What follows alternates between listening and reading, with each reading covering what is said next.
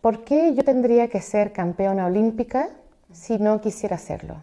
Tal vez yo tenga las capacidades, los talentos, y si entrenara suficiente desde niña, podría ser maratonista, no sé, campeona de gimnasia olímpica, pero tal vez yo no quise hacer eso.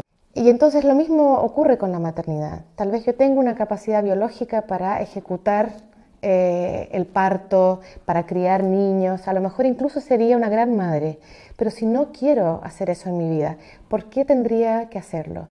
Toda mujer que quiera tener hijos debería tenerlos.